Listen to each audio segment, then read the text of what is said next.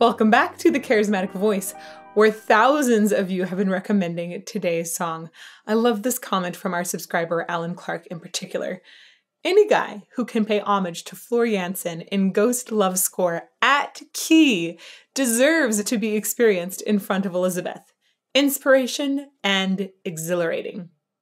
I can't say no to that, so let's get to it.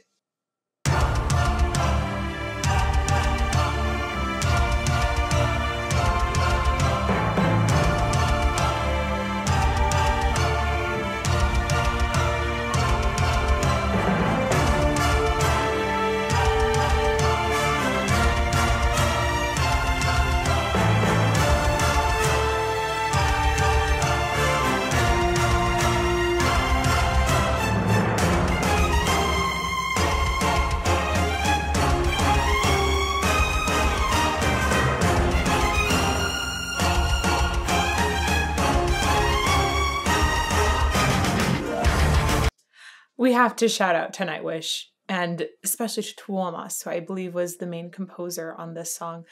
Ghost Love Score is a masterpiece. I love the different time signatures at the beginning here. It's just, it is exhilarating to hear the beginning of this, right? And I love the combination of classical and metal that you get uh, in their sound. It's just, it's so awesome. But let's continue for now.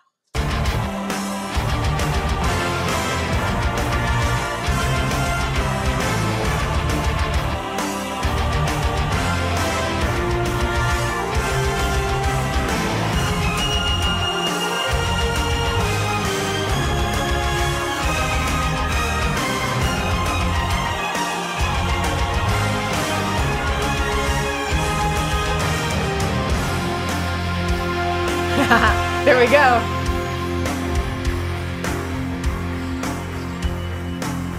I appreciate so much that he let us have this intro. Uh, so, um, Yannis is his name, by the way, Yannis Papadopoulos.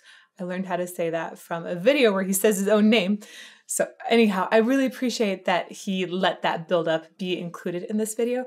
I think it is just such a good build up and was a very smart decision on his end.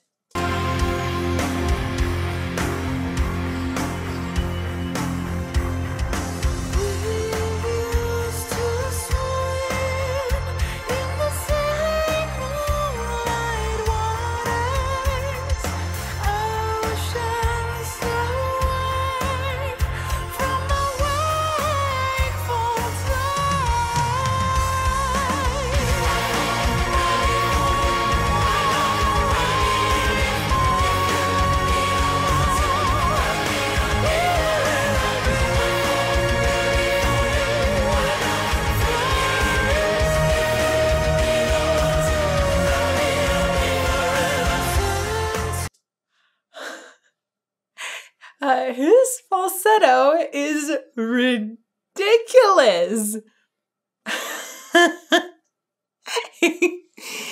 I I remember from the comment right that he sings this in the same key. I thought, you know what, he probably started, you know, down an octave or something. No, just starts it just as high as Floor. By the way, um, this song was the song where I first uh, fell in love with Floor's voice. So I you just have to understand this has a very special place in my heart. And I am shocked by how well he's doing this.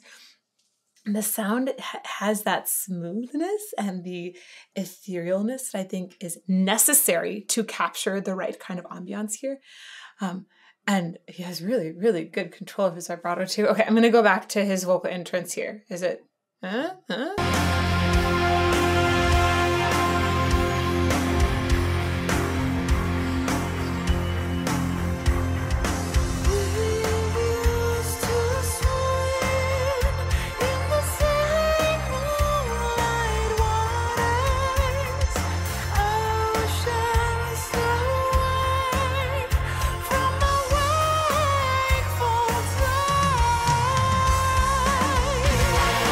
Also has really nice control already that you can hear of bringing in a little bit more core to the sound, which he gave just here kind of towards the end.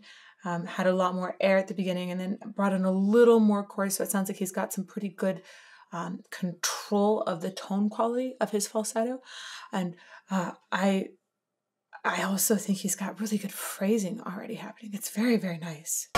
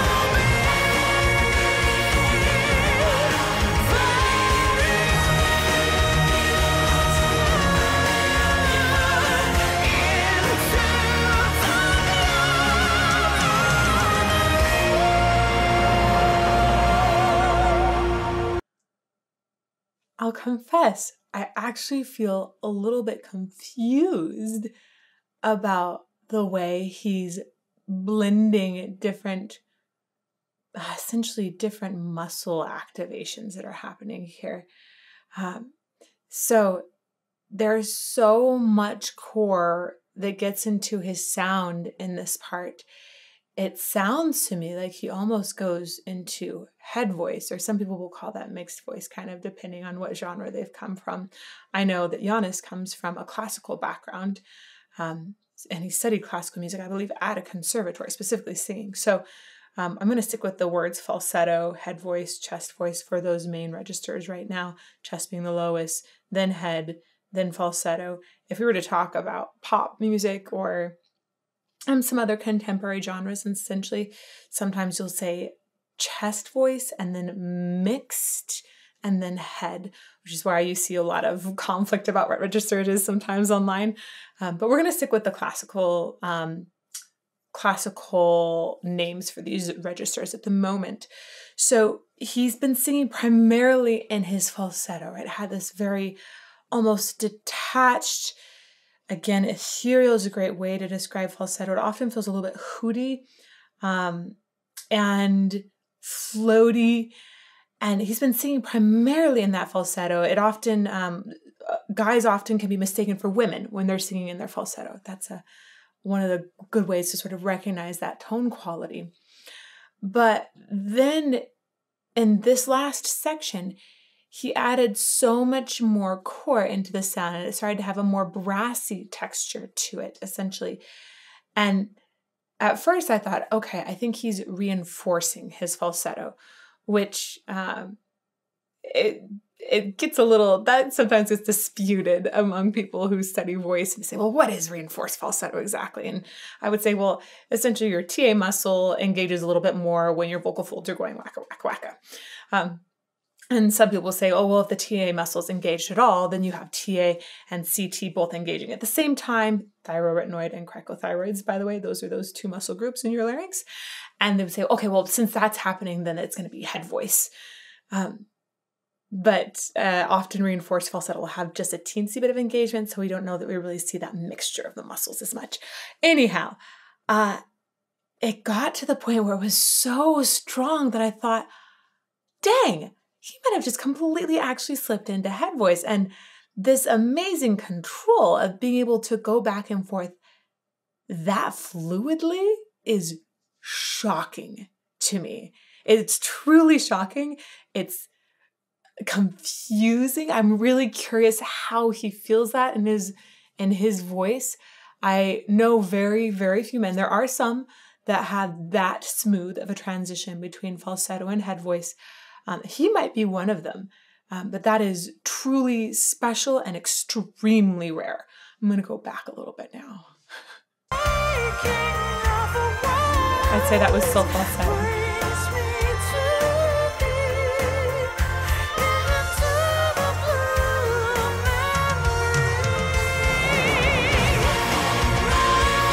And here it sounds like it switches.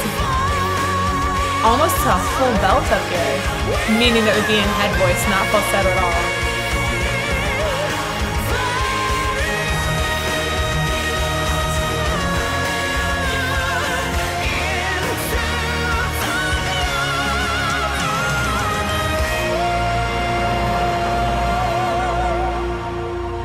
And the way that he decrescendos off of memory up there makes me think that's back in falsetto. It's really hard to do a decrescendo when you're at the top of a register. Um, if you're at the very, very, very top, you tend to be louder and to be able to do this really nice, delicate decrescendo, controlled vibrato and everything off of it. That's uh that's crazy, crazy difficult. I wonder if he flowed in in that last phrase. He might have done a switch and had some reinforced falsetto to sort of um, blend and uh, and mask that switch of the registers there. Uh, I'm to go back just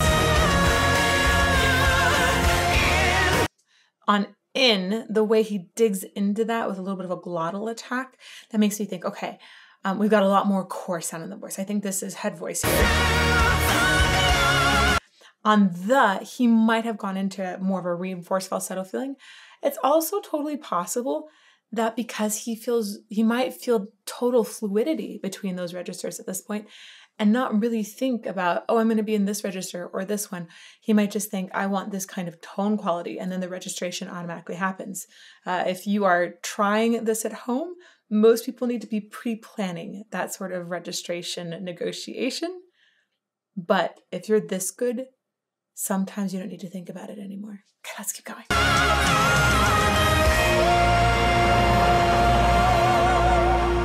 so pretty.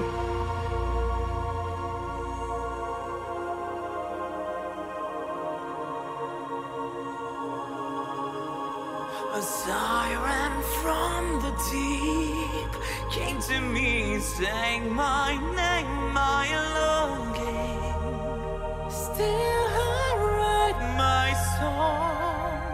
songs about that dream of mine. So when it's opening into the open vowels there, I feel like that is very definitely falsetto, but he starts it off, I think, in head voice in places. Anyhow, I'm gonna stop obsessing over this. I promise I won't obsess, obsess over it as much. I but my voice coach, voice science brain is wanting desperately to think about every single note and what register he's using. A siren from the deep came to me saying my name, my longing. Still I write my songs about that dream of mine.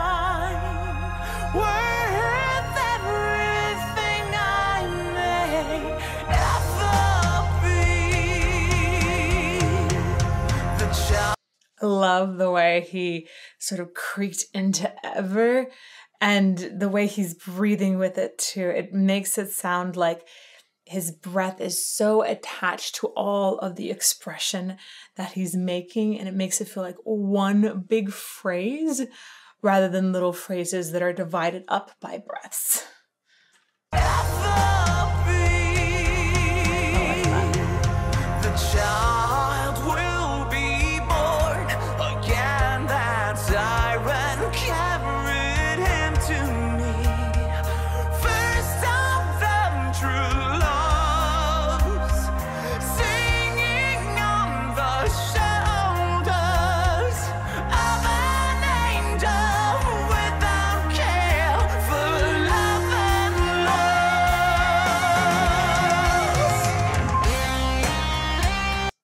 I have to say, the little cries that he's adding as well um, just really add to that feeling of longing and desperation. I think that they're very um, stylistically, they just really work for him and give us that extra bit of oomph from below. It's nice.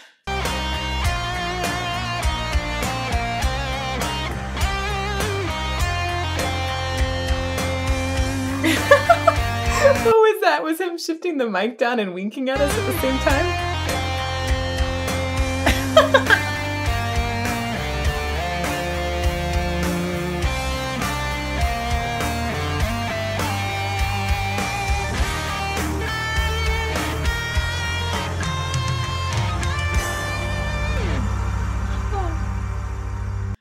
it's kind of cool to see his mouth moving and obviously going along with the guitar sounds. I think I read that he had taught himself guitar, so he also is an accomplished musician.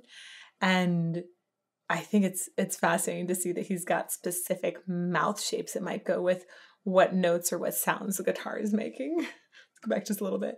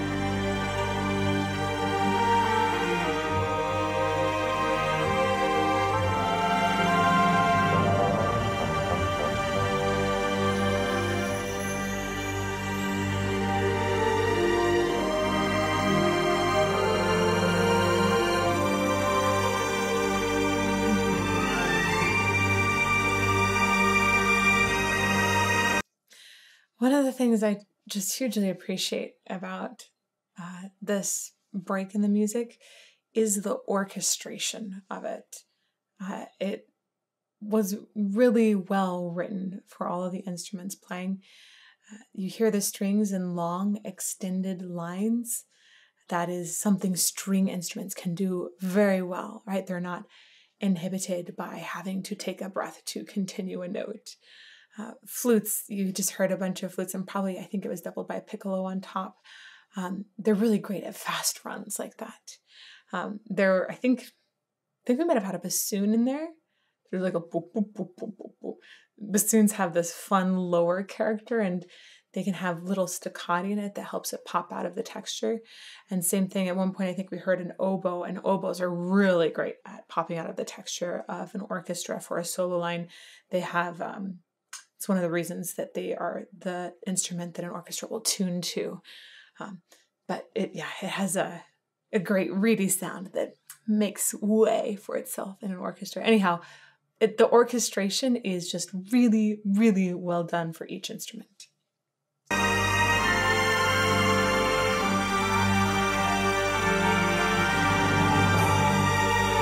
And beautifully mixed.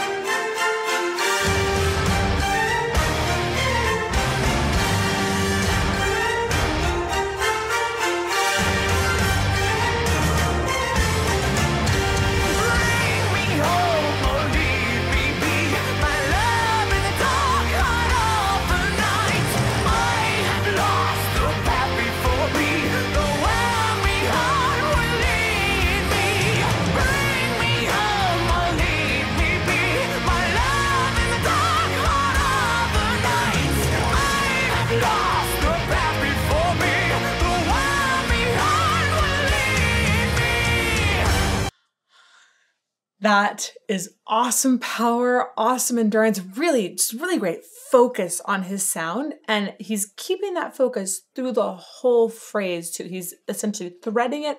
So his voice is always, always, always present it has the same ring on it. Um, it's like it would look very similar. Each note would have a similar profile, essentially, if you were looking at it with like a spectrogram or some sort of um, visual analysis of the frequencies that we're hearing. And so um, he has great focus and continuity in his resonance placement. It's really, really nice. It gives it a great line. I'm going to go back a little bit. I also, I love the way um, he does a similar thing to Floor at one point where he kind of speak growls off of a lower note. It sounds really good.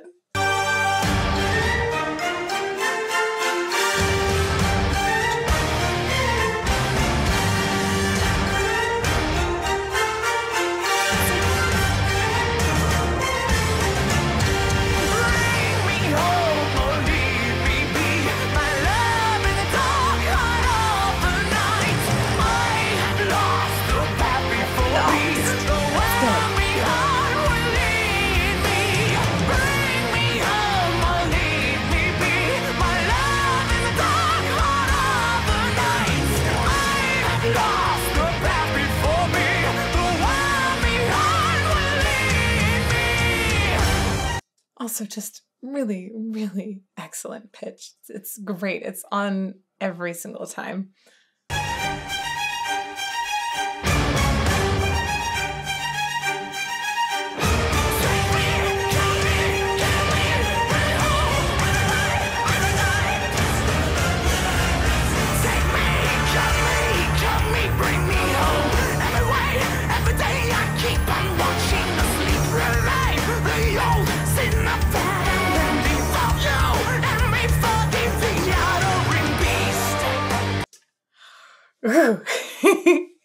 that distortion was really, really, really well done.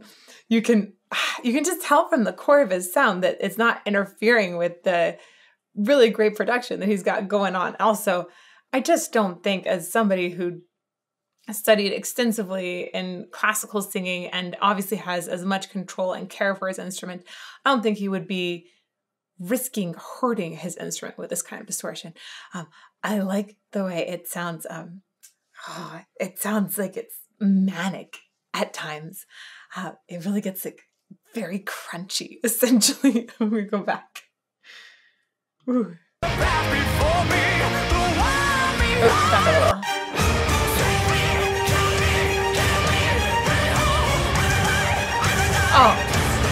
I got so distracted by the distortion. I didn't talk about how cool that top note is. It sounds really, really well supported. And um, yeah, I think you'd have to have extremely low support for that. And at the same time, it's got some roundness to it that makes it sound a little more classical too. He's got really good control of having the sound forward or more round in the back.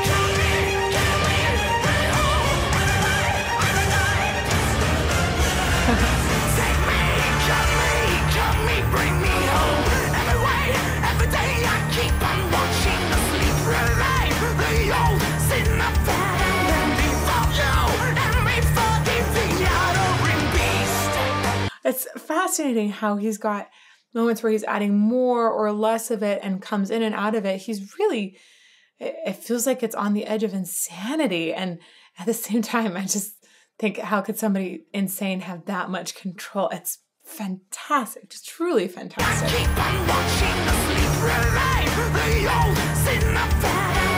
Wow.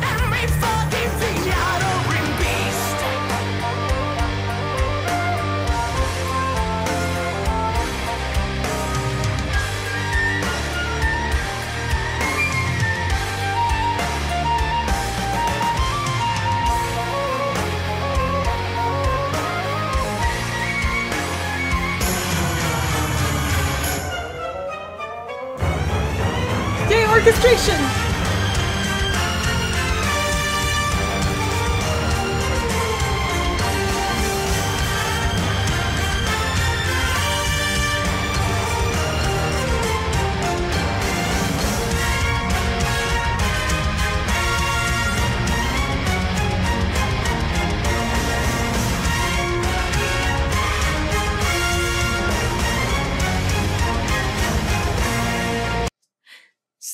Sort of little extra side note in here. The addition of the brass is part of what makes this sound uh, so big and heroic at this point. And of course, we've got lots of other additional contemporary elements that are helping out with that as well.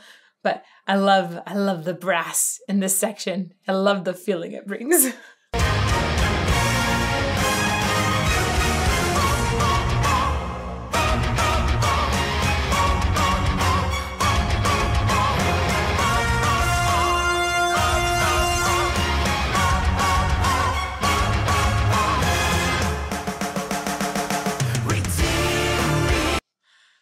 that ha ha ha section, I think I even said this before the first time I heard her do this. It's really important that you have a good onset right there, which is the moment that the breath connects with the vocal folds and they start going wacka wacka wacka. You have to make sure that that is coordinated. So you don't have too much breath initially and your vocal folds don't try to start initially. And it sounds, um, when it's perfectly done. It has this mm, wonderful quality. And I feel like he's doing a really gorgeous onset here. And additionally, I was paying attention to the roundness that he did here as well. He's rounding his mouth, he's definitely making it have uh, a lovely, more choral like sound. Great control once again of his tone quality. Let's go back a little bit to that section.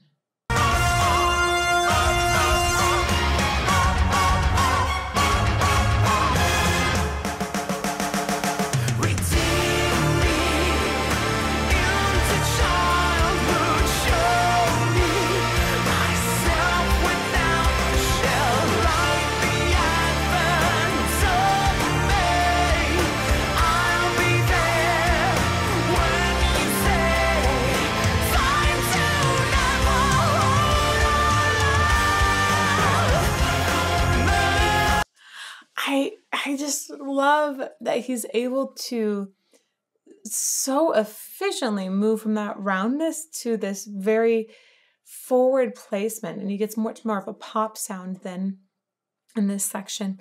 Um, right you hear a lot more it sounds almost more narrow in the sound has more like point in it as well. He's just very very good at moving back and forth between these two. So much control. Okay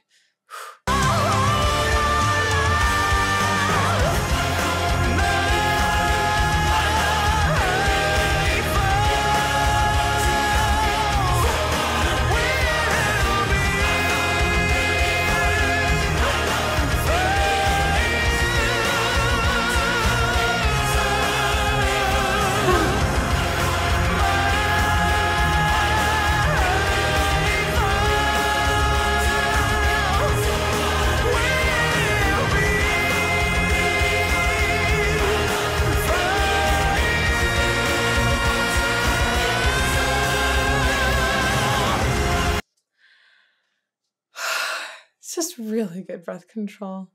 The phrasing is excellent. I love that he saved enough juice to really do that nice slide at the end of this one. Uh, it's just well measured and very steady as well. Fantastic. Just a little bit.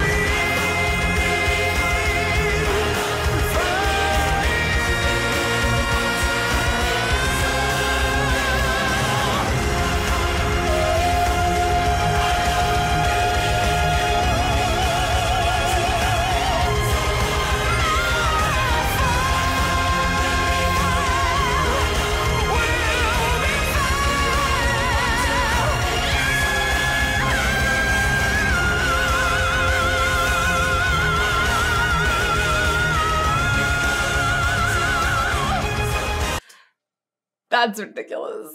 That top top note with that power and that focus and then extending it and working on a really steady vibrato with it to all of those things combined. Ugh. She's just technically so ridiculously good. Ugh. Wow.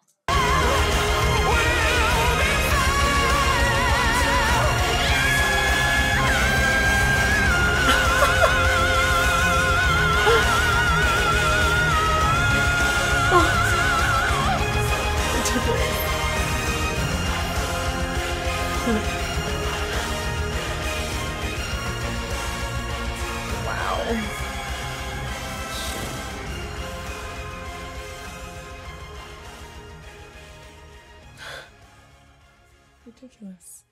I have developed so much additional respect for Yannis Papadopoulos. He has an insane amount of control over his voice. And we didn't even go into the, the lows. This was all just the highs, which tend to be much more difficult to control. I my mind is still buggered out by how he was negotiating some of that registration transition. I man, I would love to talk to him about how he thinks about his registers and how he smooths that out. Oh, it was just totally extraordinary. And yeah, oh, so much respect. Wow.